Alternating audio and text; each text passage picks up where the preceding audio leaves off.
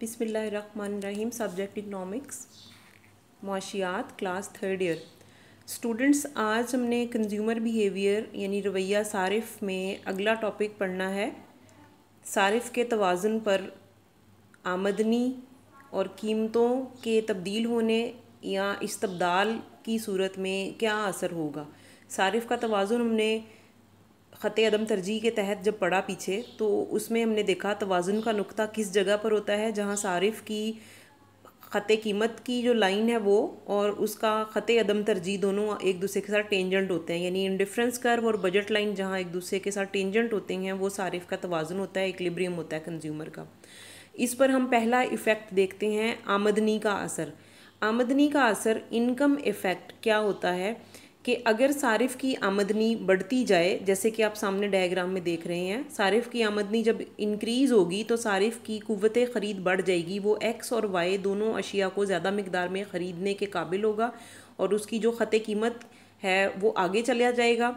या बज, जो बजट लाइन है सारिफ की वो आगे शिफ्ट हो जाएगी। जैसे कि आपको इस डायग्राम में नज़र आ रही है पहली उसकी बजट लाइन है ए बी वो इनकम के बढ़ने से वो शिफ्ट होकर ऊपर चली गई सी डी मज़ीद इनकम में इजाफा हुआ तो मज़ीद वो ऊपर चली गई ई e, एफ़ और मज़ीद इनकम में इजाफा हुआ तो वो मज़ीद ऊपर चली गई जी एच और इसी तरह से अगर आमदनी बढ़ती जाएगी तो बजट लाइन आगे से आगे शिफ्ट होती जाएगी। चूँकि एक जगह पर ख़त अदम तरजीह बहुत ज़्यादा तादाद में मौजूद होते हैं जितना औरिजन के करीब जो ख़त अदम तरजीह है वो कम तस्कीन की लेवल को शो कर रहा है और जैसे जैसे वो आगे जाएगा, वो तस्कीन का मैार बढ़ता जाएगा। तो सारिफ की जब अगली बजट लाइन होगी, वो वहाँ अगली जगह पर मौजूद इंडिफ्रेंस कर्व के साथ टच करेगी टेंजेंट हो जाएगी और सारिफ का तोज़ुन वहाँ पर चला जाएगा। जैसे इस डायग्राम में पहला जो नुकता है, पहली दफ़ा सारिफ की जो बजट लाइन ए बी है और इंडिफ्रेंस कर्व उसका पहला है तो ऐसी सूरत में उसका इक्लिब्रियम है नुकता आई पर, जहाँ वो एक्स वन क्वान्टिटी और वाई वन क्वान्टिटी ले रहा है। फिर वो जब उसकी इनकम बढ़ी तो अब वो ज़्यादा मकदार ख़रीद सकता है एक्स और वाई दोनों की, और वो अगले indifference curve second indifference curve पे चला जाएगा। और उसकी जो क्वांटिटी है एक्स की, वो एक्स टू है और वाई की क्वांटिटी वाई टू है, और इसी तरह से आगे से आगे होता जाएगा।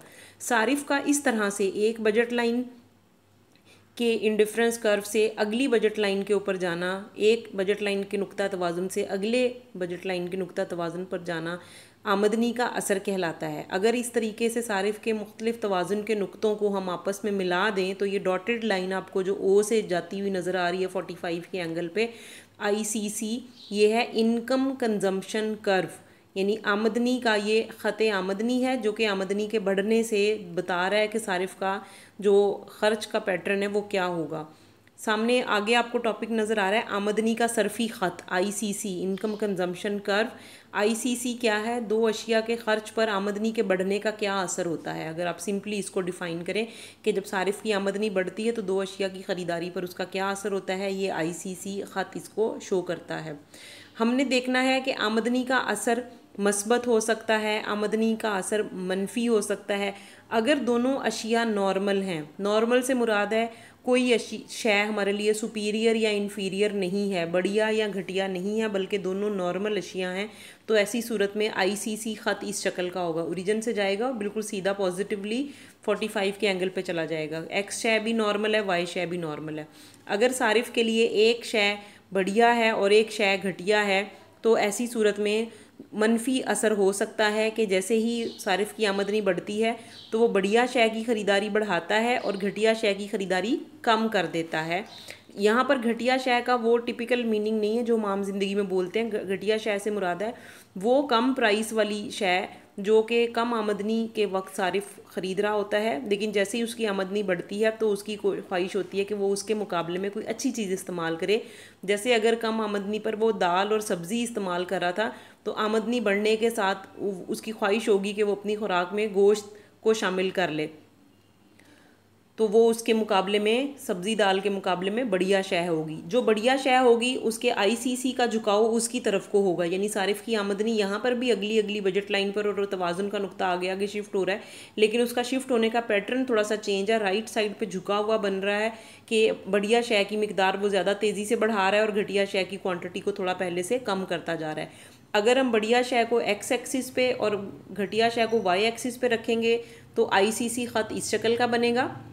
एक्स एक्सिस की तरफ़ को झुका हुआ होगा और अगर हम इसका उलट कर लें कि वाई एक्सिस पे जो शय हमने शो किया वो बढ़िया शय है और एक्स एक्सिस पे जो शय है वो घटिया शय है तो अब हमारा जो आईसीसी कर्व होगा इनकम कंजम्पशन कर्व वो वाई एक्सिस की तरफ़ को झुका हुआ होगा। सिर्फ़ कंज्यूमर का पैटर्न एक्सपेंडिचर का चेंज है, बाकी इसमें इंक्रीज वैसे ही होगा कि अगले अगले डिफरेंस कर्व पे उसने जाना है आमदनी के बढ़ने के साथ। तीनों आईसीसी कर्व्स को अगर इकट्ठे एक ही डायग्राम में बताएँ तो 45 के एंगल पे जो बिल्कुल सेंटर में स्ट्रेट लाइन जा रही है, ये ऐसी सूरत में है जब दोनों अशिया नॉर्मल हैं और जो एक्स एक्सिस की तरफ़ झुकी हुई है, ये शो कर रही है कि एक्स शय बढ़िया है और जो वाई एक्सिस की तरफ़ झुकी हुई है, ये शो कर रही है कि वाई शय जो है, ये बढ़िया शय है और दूसरी शय घटिया शय है। तो स्टूडेंट्स इसको आपने इस तरीके से तैयार कर लेना है। घटिया शय की सूरत में आमदनी का असर अब देख लेते हैं। वो आपको नज़र आ रहा है सामने कि घटिया, जो बढ़िया शय होगी, उसकी मकदार बढ़ती जाती है और घटिया शय की सूरत में आप देख रहे हैं कि सारिफ जैसे ही अगले लेवल पे गया है, उसने एक्स की क्वांटिटी को कम कर दिया और अगले लेवल पे गया है तो एक्स की क्वांटिटी को और कम कर दिया। इसका मतलब है कि एक्स शय सारिफ की घटिया शय है। तो अगर हम इसको ज़ाहिर करना चाहें कि सारिफ का जो आमदनी का ख़त है, इसके लिए स्टूडेंट्स एक और नाम भी इस्तेमाल होता है। पेपर में अगर शॉर्ट क्वेश्चन आ जाता है एंजल कर्व के नाम से आप इसको बयान कर सकते हैं कि आईसीसी कर्व जो है, ये असल में सारिफ का ख़त एंजल है। What is Engel curve Engel curve show करता है कि जैसे जैसे सारिफ की आमदनी बढ़ती है उसकी परचेजिंग पावर बढ़ जाती है, वो एक्स और वाई दोनों की ज़्यादा मकदार पहले से ख़रीद सकता है और इसका पॉजिटिव स्लोप होता है। With the increase in price the सारिफ the consumer is able to consume more quantity of both commodities और वो पॉजिटिव स्लोप होगा। आप देख रहे हैं यहाँ पे सामने, यहाँ तक हमारा ये पहला टॉपिक है, इसको आप प्रिपेयर कर लें। इसके बाद हमने, ये हमने असर आमदनी डिस्कस किया है। अगला हमारा टॉपिक होगा असर कीमत।